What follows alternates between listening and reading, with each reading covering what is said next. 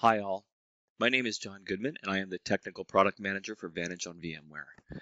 Today, I'd like to demonstrate the ease in which we can deploy a Vantage on VMware system using the new Vantage on VMware Quick Start. Vantage on VMware Quick Start is a new simplified deployment method for Vantage on VMware that gives customers the ability to self-deploy a virtualized Vantage system on a single VMware ESXi host. With Vantage on VMware Quick Start, customers can choose among four different install options, a single VM TPA deployment, a dual VM TPA deployment, a single VM TPA plus optional applications, or a dual VM TPA with optional applications. Optional applications include Viewpoint, Server Management, and Data Stream Controller. Okay, let's get started. To begin, we need to log into the deployer VM and then navigate to the Quick Start directory. And by the way, I didn't mention, you can find the documentation for our VMware Quick Start Guide at docs.teradata.com. So let's go ahead and log into our uh, Quick Start deployer.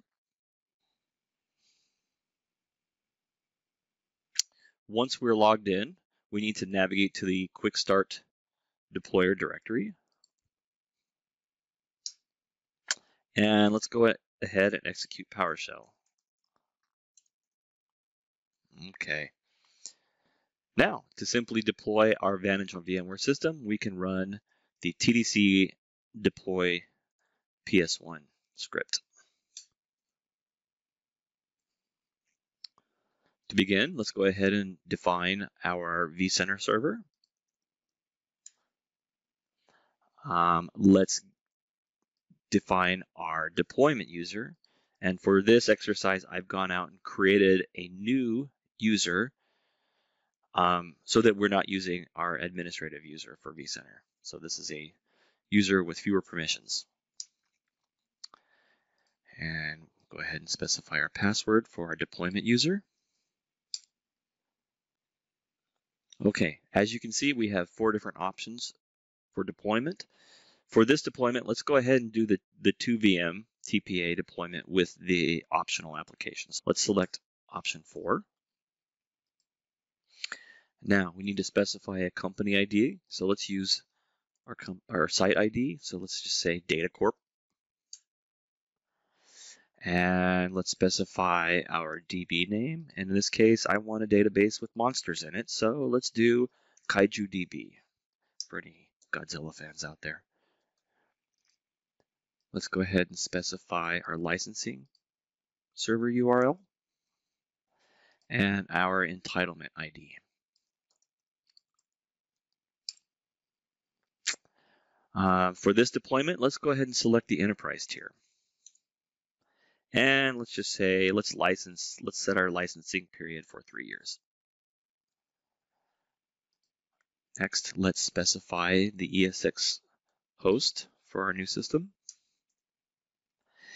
And once we do that, it will enumerate the data stores on that ESXi host. So let's select the first one, so index one. And then for our system, I want our VMs to have six cores, which translates to 12 vCPUs.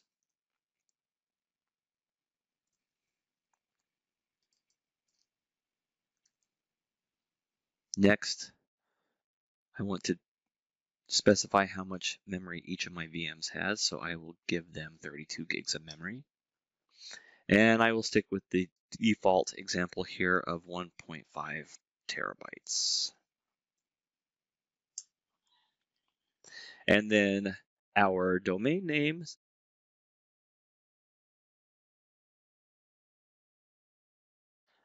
Now, as we, before we move on further, I've done some setup in the background.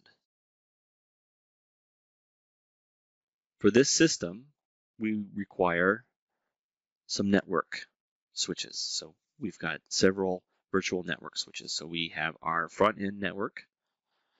We will have a two BYNET connections, two CMIC, CMIC connections, and a DSU switch. And so we will need to specify these in our setup. So in this case, I select our public net network. I need to specify our subnet mask, and then the default gateway for our network.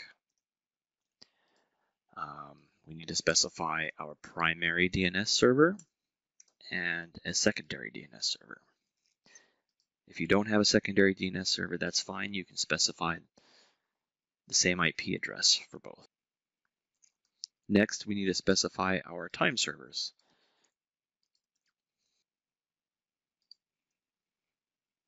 Specify our secondary NTP server. Okay, as I mentioned, we have our backend and front-end switches, so let's begin specifying those. So let's specify our BYNET switch 1, our BYNET switch 2, our CMIC switch 1,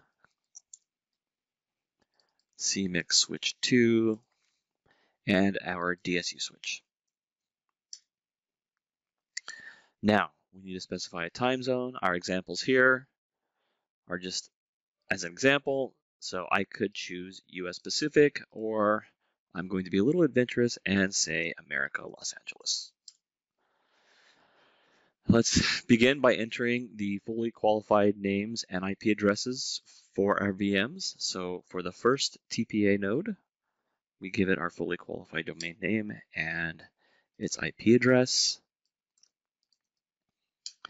And we want to specify which template to use. In this case, we're using this first template, template one, for our TPA nodes. And now let's specify the fully qualified name, domain name for our second TPA and its IP address. Select our template. Next, we want to do the same for our CMIC. Specify the IP address, and our CMIC template. So select number two for our CMIC template. We do the same for the DSC, IP address, and the template. We see that our template is number three And finally, for viewpoint, specify the VM information for viewpoint and the IP address. And we see that our viewpoint template is here, number four. Now, we can review our changes. If we need to make changes, if we fat fingered something, we can go through and select modify to change anything that we need to change. So let's see, does everything look okay here? Say for instance, we messed up on viewpoint. Let's go ahead and modify. So for instance, viewpoint, VM name, index 54. So let's select 54. Let's go ahead and reset the fully qualified domain name. That's that simple. So if we're happy with our settings and any changes that we need to make. Let's go ahead and select yes.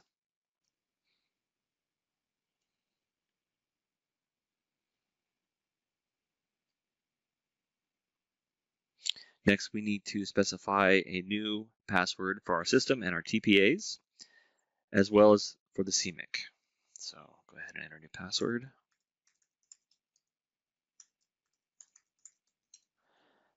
Let's do this the same thing for the DBC user.